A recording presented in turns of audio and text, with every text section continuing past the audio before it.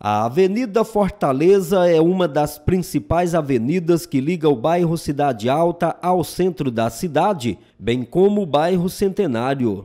A avenida tem grande movimento e muitos condutores acabam dando a preferência por se tratar de mais agilidade no trânsito.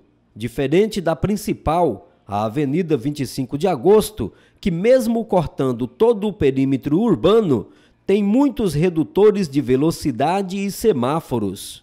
Mas se tratando da Avenida Fortaleza, o trecho entre as ruas Capibaribe e Jamari breve será asfaltado. Após anos de espera e questionamento da população, enfim, este trecho será pavimentado.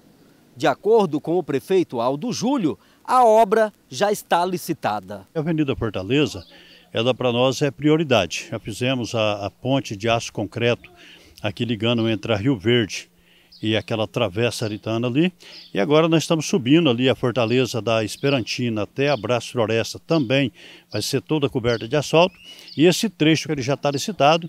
E agora, por esses 15 dias, eu acredito que a empresa vai estar trabalhando ali e já cobrindo aquele setor ali de asfalto e dando mais tranquilidade aos moradores que moram naquela região e o pessoal que usa aquela avenida para poder fugir um pouco do trânsito da Avenida Central, que é a Avenida 25 de Agosto. Então a Fortaleza, ela vai ficar toda asfaltada, 100% asfaltada a Avenida Fortaleza.